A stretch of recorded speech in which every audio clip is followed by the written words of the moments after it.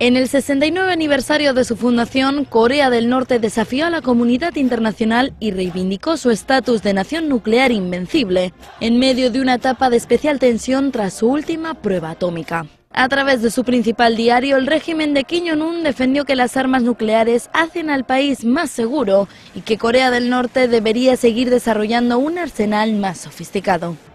La festividad, una de las más importantes del país, llega justo una semana después de que Corea del Norte realizara el pasado domingo su sexta y más potente prueba nuclear, lo que ha desencadenado una fuerte condena de la comunidad internacional y la petición de que se endurezcan las sanciones al aislado país estalinista. La prueba atómica se realizó en medio de una importante escalada armamentística del régimen de Kim Jong-un, que ha lanzado unos 20 misiles balísticos este año, incluidos dos nuevos de largo alcance en julio, que se cree que podría alcanzar territorio de Estados Unidos y uno el pasado 29 de agosto, que sobrevoló territorio japonés.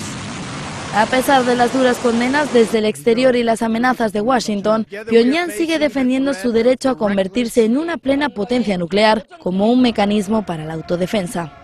Por su parte, la vecina Corea del Sur mantiene la alerta y observa cualquier signo que indique que el régimen de Kim Jong-un pueda llevar a cabo nuevas provocaciones. Corea del Norte, cuyo nombre oficial es República Popular Democrática de Corea, fue fundada el 9 de septiembre de 1948 por Kim Il-sung, abuelo del actual líder fallecido en 1994.